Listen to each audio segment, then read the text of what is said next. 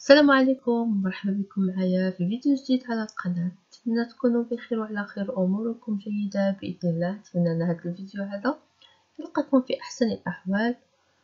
الفيديو ديالنا غادي يكون واحد الفيديو واحد المائدة رمضانية اللي هي جد بسيطة كما غادي تلاحظوا معايا وسهلة في نفس الوقت ومتنوعة وخصوصا إني كنحاول ما أمكن أنها تكون واحد المائدة هكا يعني صحيين بدون قل يعني القلي كنديرو مرة مرة يعني مرة في السيمانة ماشي كتر يعني هكا باش ننوعو في الموائد الرمضانية ديالنا نتمنى الأفكار اللي نكون نقدم لكم أنها تنال الإعجاب ديالكم.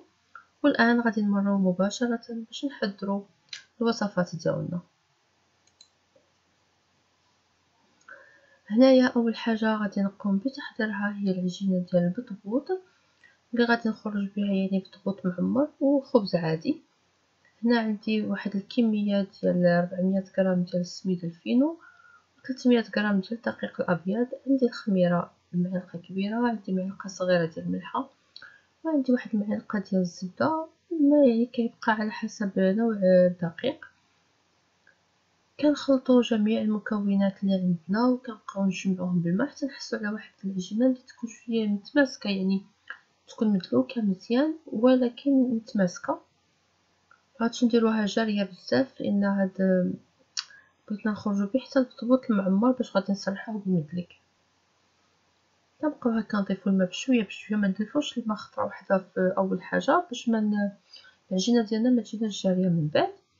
كما كتلاحظوا معايا كنبقاو نضيفو بشوية بشوية حتى ندلكوها مزيان. وهنايا غادي نوضعوها في إناء ونخليوها تختمر واحد المده كافية. ضروري ما نخليوها تختمر واحد باقي لها واحد 30 دقيقة كنغطيوها ونخليوها في واحد المكان دافئ. وهنايا غادي نمروا باش نحضروا واحد التحلية اللي جد سهلة اللي غادي نحتاجو فيها فواكه. عصير برتقال فرomاج بلون أو ياغورت طبيعي ولي بودوا أنا هنايا فضلت أنني نستعمل عصير تاع البرتقال. إذا ما كنتوش تبغيو هاد التحلية هذه تجيكم يعني حامضه يعني يمكن لكم تستعملوا واحد السيرو ديال الفواكه. أنا بالنسبة للفرماج ضفت له واحد جوج معالق ديال السكر يعني جوج معالق كبار ولكن ما حامرينش.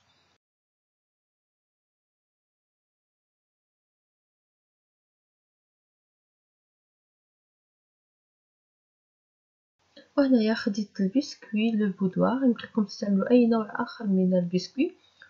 غطستو شوية في ال jus d'orange أو عسل البرتقال ومن بعد ضفتو في الكؤوس وضفت عليه ال fromage blanc. ومن بعد ذلك ضفت القطع ديال الفواكه أنا هنا استعملت ال fraise والكيوي اللي ما ضفت لهمش السكر نهائيا. ومن بعد غادي نضيفو واحد طبقة ثانية ديال البسكوي. ومن بعد البسكوي غادي نضيفو طبقة ثانية ديال ال fromage blanc. وكنكونوا يعني انتهينا من تحضير هذا ال dessert هذا اللي من بعد يمكن لكم تزينوه بأي حاجة بغيتو. أنا غير بالقطع ديال الكيوي. كيبقى التزيين على حسب كل واحد.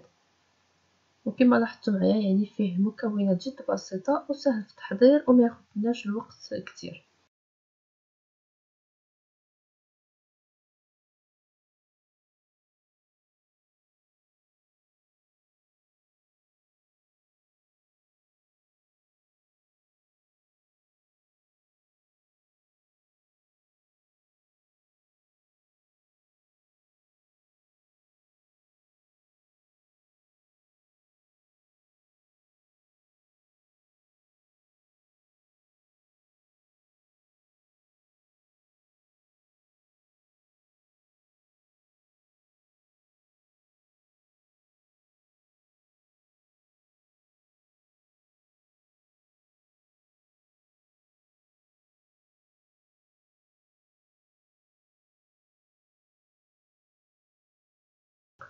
وهنايا بالنسبة للخبز ديالنا من بعد ما اختمر غادي نمروا باش نقسموا العجينة ديالنا على زوج باش وحدة غادي نخليوها نخرجوا بها الخبز ديال المقله العادي والثانيه غادي نسرحوها باش نشكلوا بها بطبوط معمر.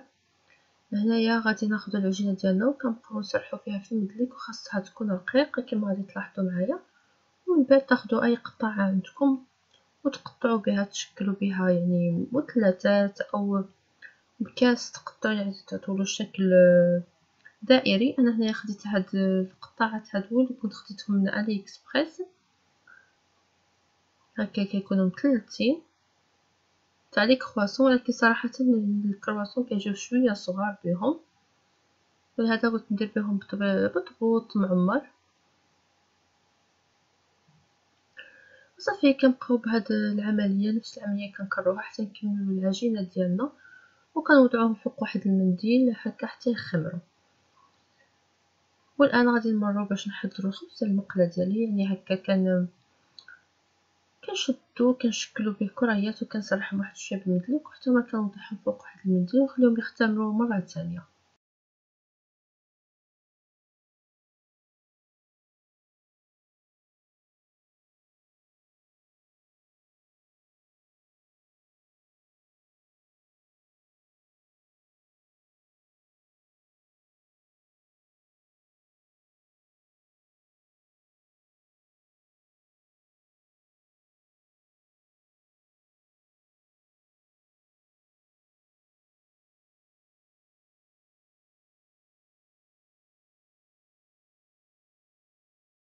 وهنايا غادي نمرو باش نحضرو la soupe ديالنا واحد الشوربة ديال الخضر عادية اللي غادي يحتاجو فيها البروكولي شوية ديال القرعة الحمراء شوية ديال les choux شوية ديال خيزو شوية ديال البطاطا شوية ديال البوارو وشوية ديال البصله أما بالنسبة للتوابل غادي نحتاجو الملحة والفلفل الأسود واحد المعلقة ديال الزبدة يمكن لكم تعوضوها بزيت الزيتون أو الزيت العادية.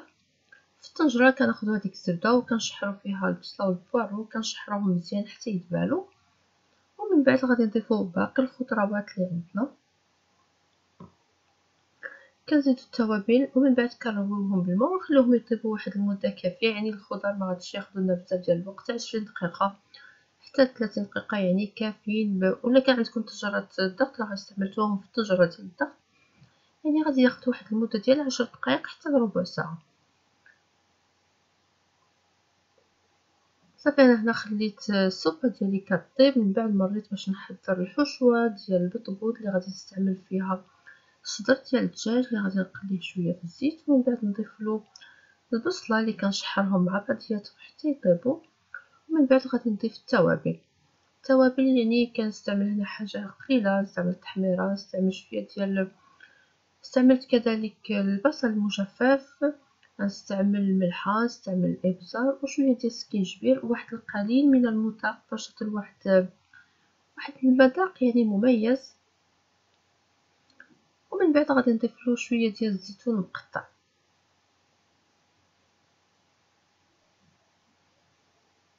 الزيتون المقطع يعني ضفتو حتى كنت طفيت النار على الخليط ديالي عاد ضفت الزيتون. وكنحتفظوا بالحشوه جانبا حتى يعني يخمرنا البطبوط ونمروا باش نطيبوه كما غادي تلاحظوا معايا هنايا في الطهي ديال البطبوط. يعني كنبقى نقلب فيه يعني كل ما نشوف وحدة تنفخات كنقلب كنقلبها. باش هكا كيجينا خاوي من الوسط كما غادي تلاحظوا معايا من بعد.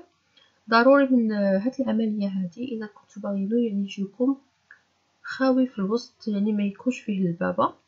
ضروري من هذه العملية أنكم تقلبوا فيه يعني في مرحلة الطهي يعني تبقاو تقلبوا فيه في كل مرة.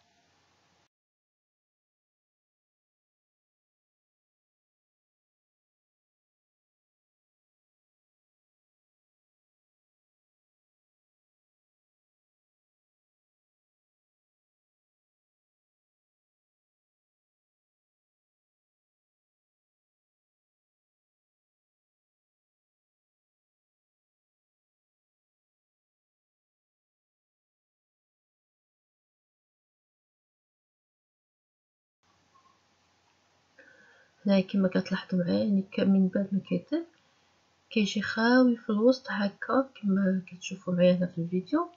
من بعد كناخذوا شوية ديال المايونيز كندهنوا بها وكنضيفوا شوية ديال قطع ديال الجبن. أنا هنا درت الجبن ديال الساندويتشات كندير الحشوة اللي حضرتها معكم وواحد القطعة ديال السلطه يمكن لكم تضيفوا كذلك قطعة ديال الطماطم يعني الحشوات راه كاينين مختلفين يعني كل واحد يدير الحشوات اللي بغا أنا كنعطيكم يعني هكا وصفات باش ننوعو شوية ونعطيكم أفكار باش هكا الواحد يبدل في هاد الموائد الرمضانية. وكنوصلوا بهاد العملية هذه حتى نساليو البطبوط اللي عندنا. وهنا حضرت واحد السلطة ديال البيتخاف مع نخصو شوية ديال الطماطم يعني سلطة عادية. وهنايا غادي نمر باش نطحن لاصوب ديالي اللي ضفت لها واحد ثلاثة ديال القطع ديال الفرماج. دائما الفرماج كيعطي واحد المذاق مميز لل soupe يعني ننصحكم أنكم تستعملوا بهذه الطريقة هذه. ديروا la soupe أو كاس ديال الحليب أو la crème fraîche ولكن هذا النوع ديال السوبات هادو يعني الفرماج كيكون يعني كافي. وصافي هذه هي المائدة الرمضانية ديال اليوم. إن شاء الله تكون نالت الإعجاب ديالكم. يعني كما لاحظتوا معايا قدمت فيها هكا الشوربه زدت معها شوية بيض مسلوق شوية فواكه. مع البطبوط اللي عمرناه وهكا يعني من شوية الشريحه شوية ديال التمر يعني هكا حويجات ساهلين. نتمنى أن هذا الفيديو هذا يكون الإعجاب ديالكم. وما تنساوش إلى عجبكم الفيديو تشتركوا في القناة وتبارطاجوه مع أحبابكم وصحابكم. وأنا غادي نضرب لكم موعد في وصفات فيديوهات وحدين اخرين بإذن الله. إلى اللقاء.